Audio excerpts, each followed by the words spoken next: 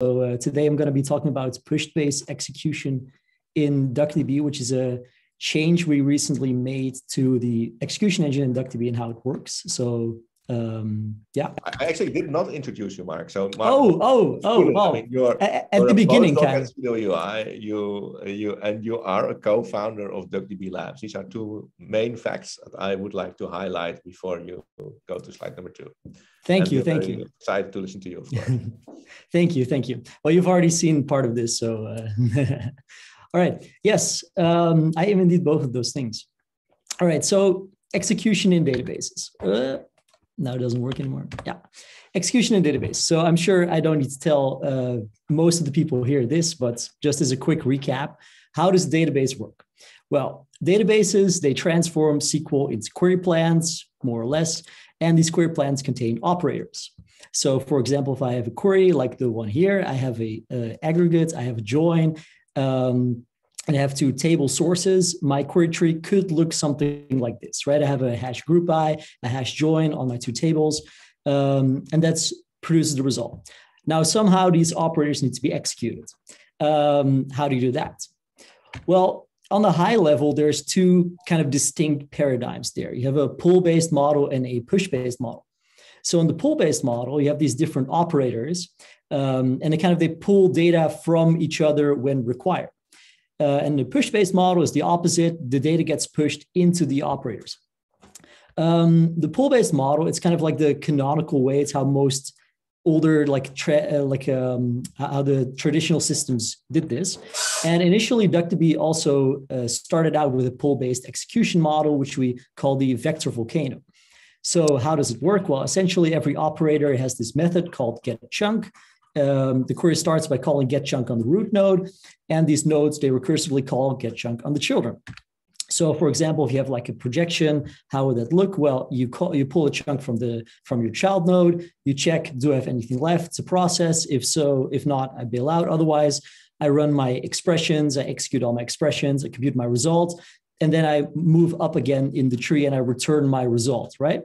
So kind of straightforward, um, not too complex uh, at least when we're talking about single-threaded execution, of course, um, because single-threaded execution just run this plan and you're good. Multi-threaded execution, however, not so not so easy in this uh, model. And uh, well, as we know, uh, computers, many cores, especially for uh, uh, analytical systems, it's kind of important to run uh, in parallel because if you have 100 cores and you run in parallel, you run 100 times faster, ideally. Um, so it's kind of a big deal, let's say. So, how do you do that? How do you make this model parallelism aware? Well, the classical solution to this, the exchange operator, which basically means that at like query compile time, you, you split your query plan into different partitions. Uh, these partitions that can be executed independently, and then you just have like uh, some exchange operator where all of the sort of logic of combining um, different like the results from these different partitions is um, is handled so that all the operators themselves they don't need to be changed. You can just like put all of the logic into these um, in, these, in the exchange operators. Uh, this has some problems. Uh, like you have to decide at compile time what you're going to like how you're going to partition this plan. You get kind of a plan explosion, um, especially if you have like 100 cores, 500 cores. Your plan gets quite big. It can be a problem. Um, plus, you have quite like these operators themselves; they're not parallelism aware. You lose a lot of uh, a lot of state. You probably have to materialize stuff, and you get uh, you get some added materialization costs. So, not ideal. Um, luckily, there's a better way. Um, so. Uh, some of the highly esteemed get, uh, people we have here today have invented morsel-driven parallelism, um, which is a much nicer way of doing this, where you make individual operators parallelism aware. So, how this works at a high level is that the query is divided into pipelines. And within these individual pipelines, you then execute um, the pipelines in parallel. So, for example, uh, how, how do we do this partitioning? Well, um, what we, what like kind of the observation is that we have uh, we have like these crossroads, like these operators, where we need to um, materialize something, or like we need to fully process one side or all of the child nodes or whatever, like the child operators. So one example is, for example, if you have a hash join, you can't really start probing until you have finished the build, because if you do, well, you get a wrong result. Um, another example is like a hash aggregate. You can't really start emitting tuples from a hash aggregate until you have computed the full, uh, like until you have processed all of the inputs. So these nodes are called pipeline breakers. Now, if we go back to our previous query, um, where we have this join, we have this aggregate, you can see we have two pipeline breakers here. We have the, uh, the hash group by and we have the hash join. And you can see that this, uh, this query plan gets turned into two pipelines. First, we have the hash join build on orders. Then we have the hash aggregates uh, that scans from line item, probes this hash table, and then computes the aggregates. And you can kind of see that there's this dependency, right? Like you can't start uh, probing until you build. So uh, the second pipeline depends on the first pipeline. So in these like pipelines, the contention it happens at the endpoint. So um, you have a source, you have a scan. Uh, of course, there's some like uh, some way threads need to like um, uh, handle their like shared state there, right? Because you don't want to scan, you want to scan every tuple exactly once. So there's some form of contention There's some way that you need to partition the source tables. The sinks, again, they have contention because all of the data flows into the same operators. So you have to somehow handle this.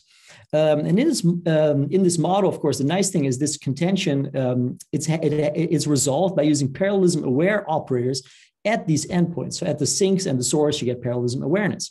These other operators like a hash probe, projection filter, they don't actually need to be aware of the um, of the like the fact that anything is happening in parallel because well if you want to run a filter you know like this can uh, occur in parallel you don't have to like communicate between the other filter nodes um, so in that sense the parallelism is like constrained quite cleanly to a select few nodes um,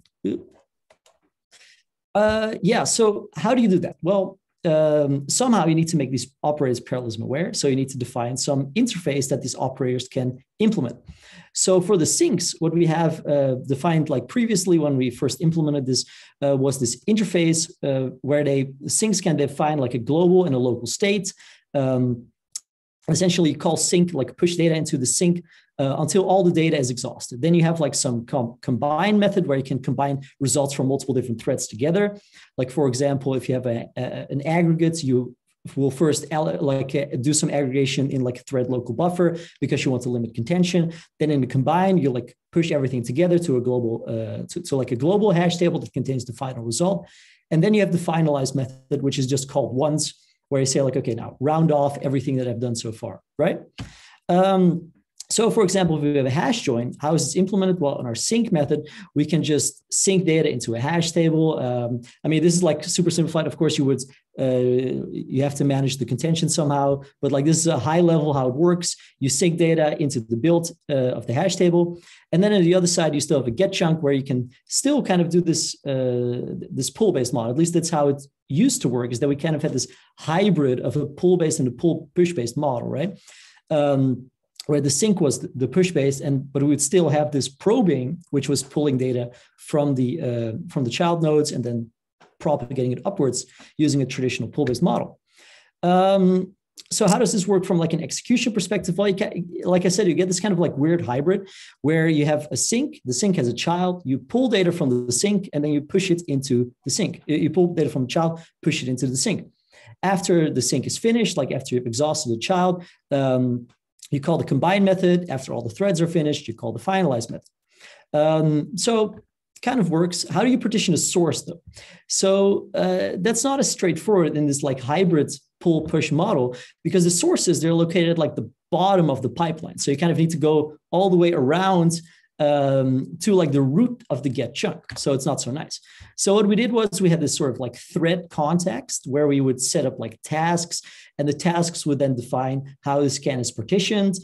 When we actually reach the scan, we would then read the tasks and we could then like read only the morsel or row group or partition that you uh, actually want to scan. And in this manner, you kind of get this um, partitioning of this uh, of the sources but it's not so nice. Um, yeah, so it, uh, the model we had, it mostly works, but there was a bunch of problems. So, like I mentioned before, the interface for source parallelism is not very clean. We have a very nice interface for sink parallelism. Source is not so much. um, you still have like the main problem of this uh, pull-based stuff, uh, or like one of the problems of this pull-based stuff um, is that you have this data flow duplication in every operator. Like you don't have a centralized data flow. Every single operator models the data flow by itself, and that's not so not very nice for various reasons. Um, and it doesn't quite solve like the uh, like the parallelization fully. It works in some cases, but there's still like uh, you may you don't only need to uh, there's some complex case like the union nodes or the full right outer joins where you have to do some additional steps to get like nice par- uh, parallelism going that uh, are not so nice to model in this uh, in this model.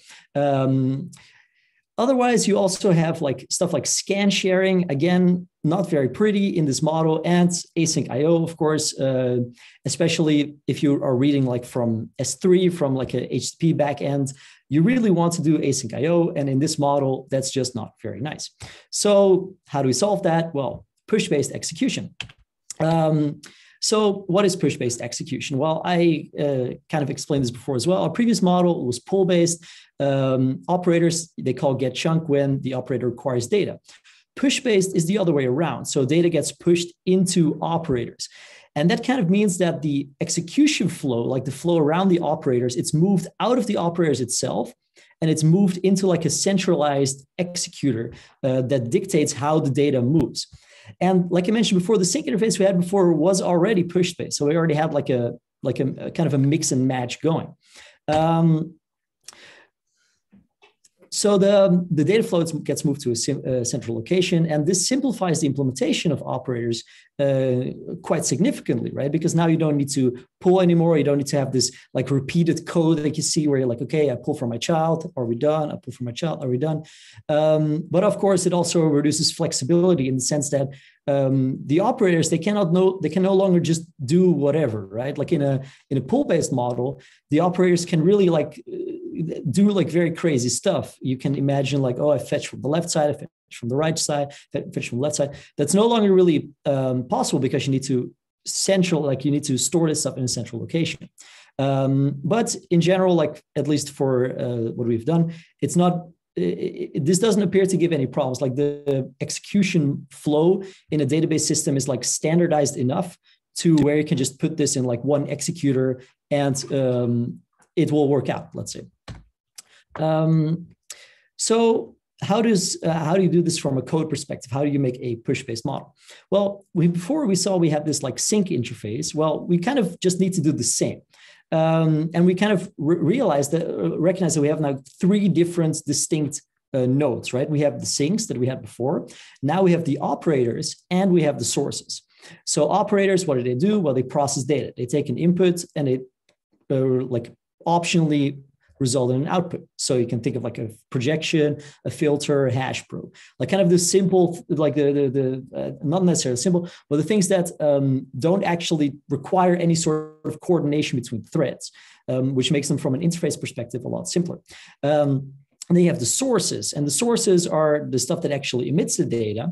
And you can talk, uh, see, think about like table scans, of course, but also uh, sources can exist in like the middle of the plan because you can have like an aggregate hash table scan or a scan of an order by, where you have at some point you have done a bunch of computation, you have materialized it, and then you need to scan it again. That is also a source, of course. Um, and one of the things you will also maybe uh, realize here is that uh, these operators they can fulfill multiple roles depending on where they are in the pipeline, right? Because um, a hash table, um, like an order by, it is first a sink um, when it's being constructed, and then it becomes a source.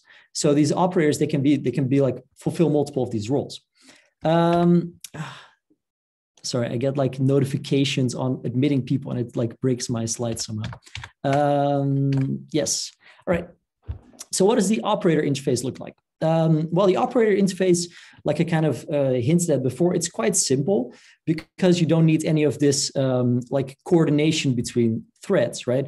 So what do you have? Well, you have a context, sure, you have an operator state, uh, nothing too crazy. You get an input data chunk and you give back an output data chunk. So it's in that sense, it's quite similar to the get chunk we saw before, um, with the exception that the input is pushed into the operator instead of read by the operator. Um, and also there's this operator result type that comes back. Uh, so why do we need that? Well, um, I'll come back to that later. Uh, so in this model, projection, it's kind of straightforward to implement. You can see compared to the pull based model, this has been simplified a lot because we no longer need to do any of the sort of data flow around it. We can just say, okay, I get an input data chunk, I run my expressions, I push into my output data chunk. And that's kind of like all the code there is there. You don't need to do anything uh, anything crazy anymore. It, it's, it gets simplified a lot. Um, a hash probe at first also seems kind of straightforward, right? Because you do a probe, you get an input, and you push to an output result. Um, but it's actually not that uh, straightforward because a single tuple can have multiple matches. So, um, and in the worst case, of course, there can be like millions or billions of tuples streaming out of like just one input tuple.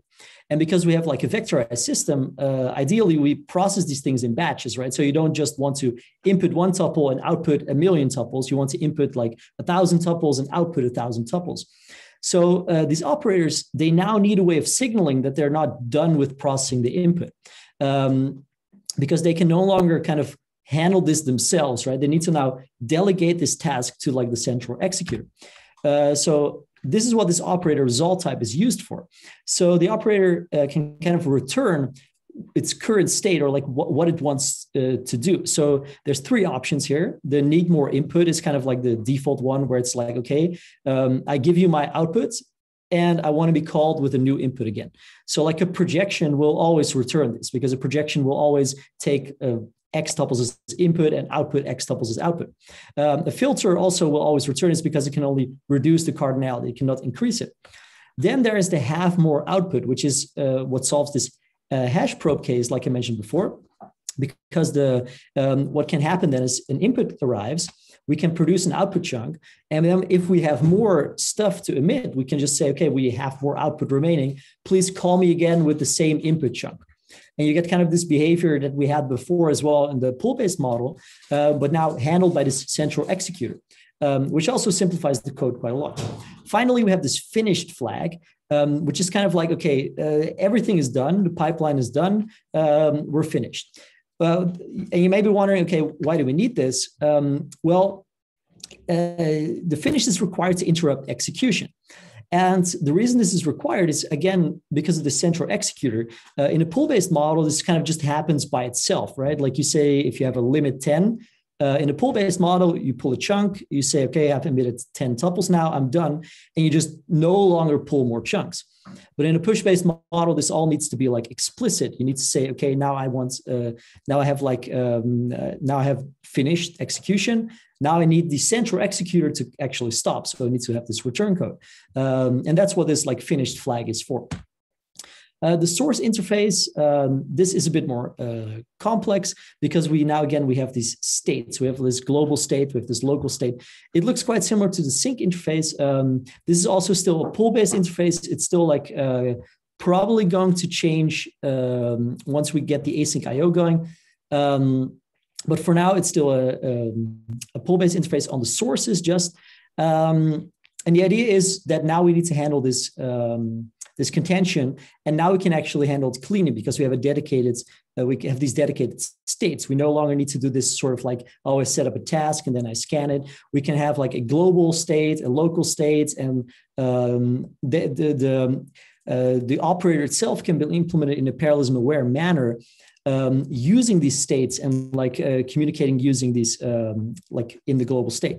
So, for example, we have a scan over table. Um, we can say like, okay, thread one reads the first morsel, and we update the global source state, and the next thread can just read the next morsel, etc. That all happens in this global state.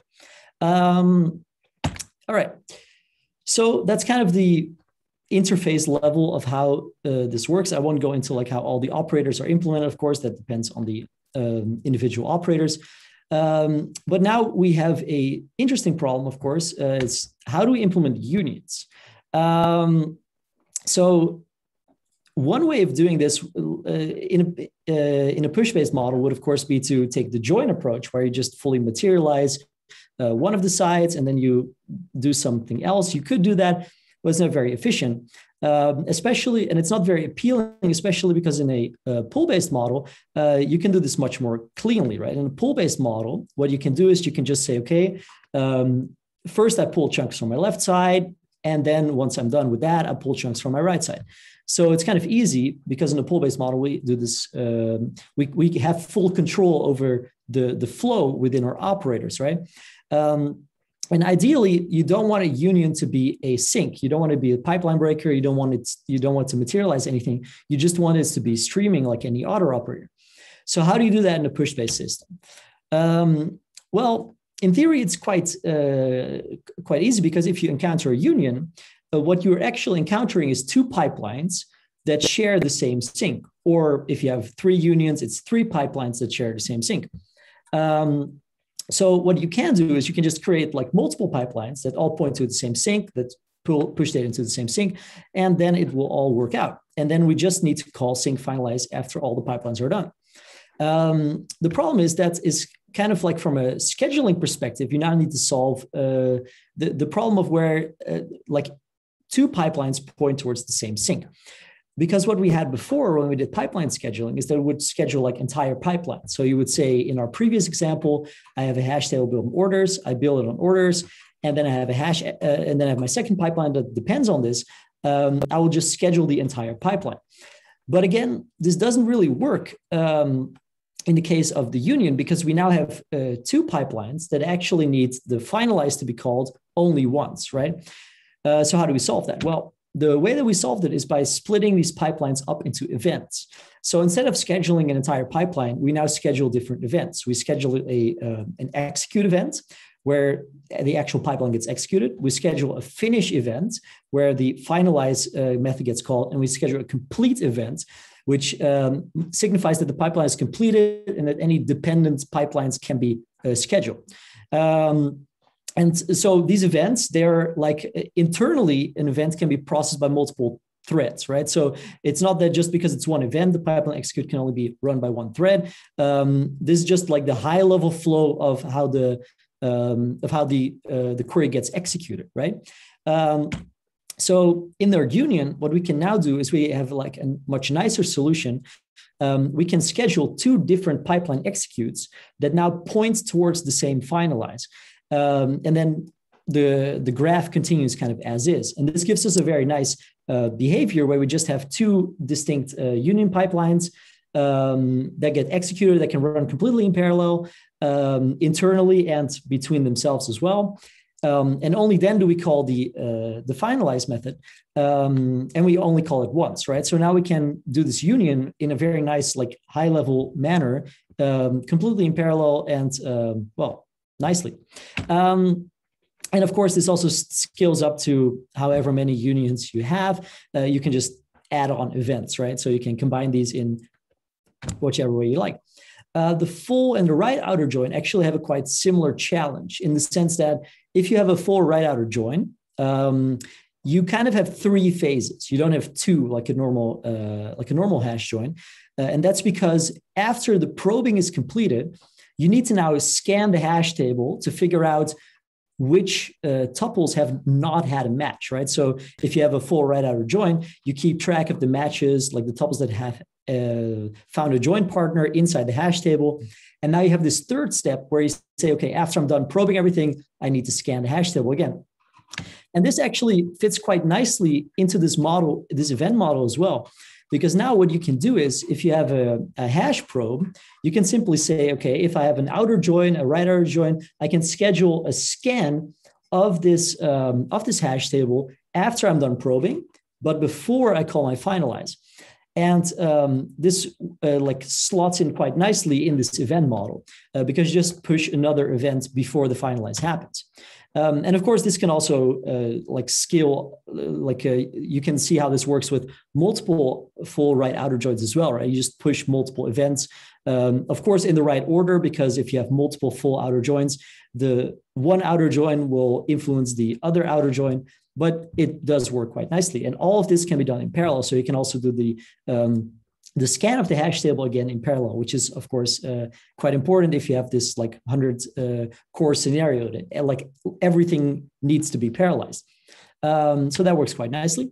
Um, another ca- uh, event where the, another case where this event model works quite nicely is when sinks have an expensive finalize step. For example, in our order by in our order by, if we have a lot of uh, tuples to order by, um, and we do an out of core order, we may have to do like a merge sort of some sorts, right? And again, you want to do everything you can in parallel, so that needs to be executed in parallel as well. Uh, so how can we do this in this event model? Well, it's quite nice because we have this complete event at the end. What the finalize can do is it can just schedule new events that kind of come between it and the complete event. So now you say, okay, I finalize my order by, I schedule a merge phase, and then I can schedule another merge phase. And this can kind of, you can schedule as many as you want because, of course, um, how, how many merge phases you need depends on how much data you have, uh, maybe even on how much memory you have, because you may flush more stuff to disk if you have less memory. Uh, so this is totally like you, you don't know upfront. So um, you can kind of just schedule more events and get that to happen. So that works uh, very nice as well.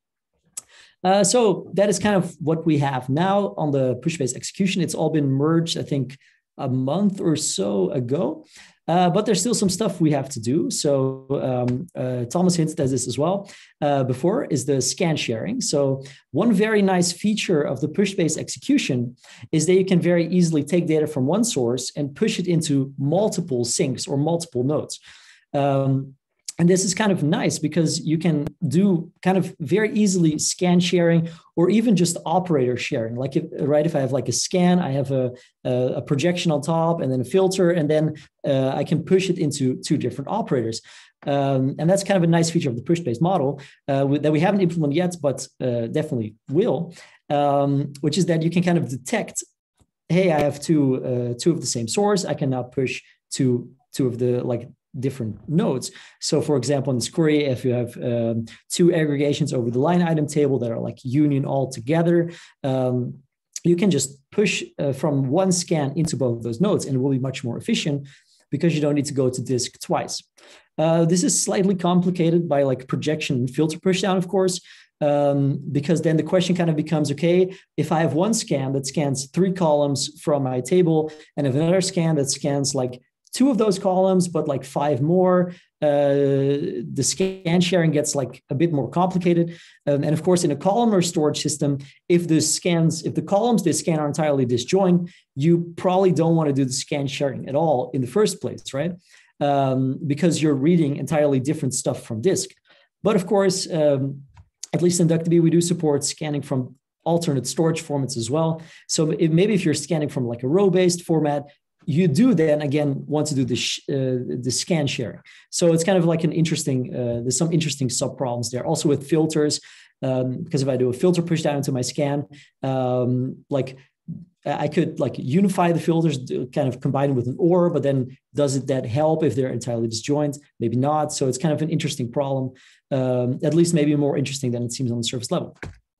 Another thing that's on our to-do list is async IO. Uh, so currently scans are still push based. That works fine for in-memory data. But if you do a read uh, from disk or HTTP, um, your get data, it just kind of stalls on the read, right? You have a blocking read. And um, that's not ideal because, uh, well, your execution is waiting for a stall and not doing anything in the meantime. So async IO is a great solution to this because it solves this by pushing the IO to background threads so your executors can work while the IO is happening. Um, and that's, of course, very nice and also slots in quite nicely into a push-based model. Um, there's like some uh, like interesting problem there as well, though, which is that um, one of the things we have uh, wanted to implement in DuckDB that's not there yet is hybrid early slash late materialization. So one problem with async IO is that you you kind of do this prefetching, right? You just read all the stuff up front, and only then do you do the processing. Um, but sometimes late materialization is better. It really depends on the query. Uh, so for example, if you have a query with selected predicates on one column, uh, late materialization is probably going to win because you read less from disk. So for example, if I have a query like this, where I do like um, uh, a semi-join on like a table where I, in the end, only need like five rows from like my line item table.